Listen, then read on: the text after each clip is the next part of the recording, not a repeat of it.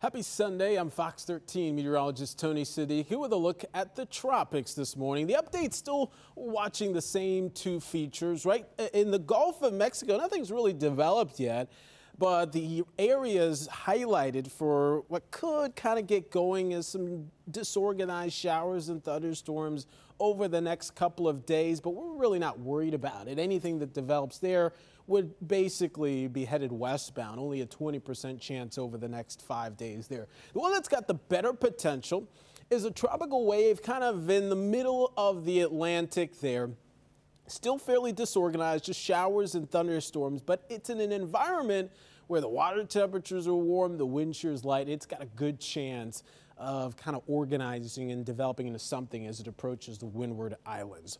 In terms of the track, I'll show that to you in a moment, but right now, about a 40% chance over the next two days, 70% chance over the next five days. High pressure at the surface and aloft should do a good job of steering this thing. So impacts for kind of the uh, southern parts of the Windward Islands.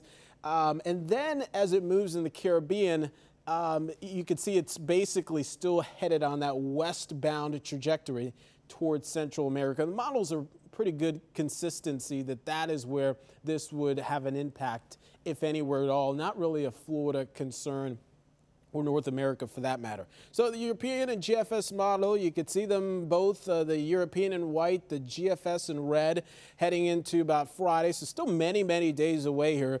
It's somewhere in the Caribbean and, you know, both show at least a weak system of some kind, perhaps a tropical depression, maybe even a weak tropical storm as it continues to work its way towards the west by basically this time next weekend. So if it were to develop a name, Bonnie would be the next name on the list. But again, no immediate concerns here for Florida. We'll keep you posted on all things tropics on myfoxhurricane.com.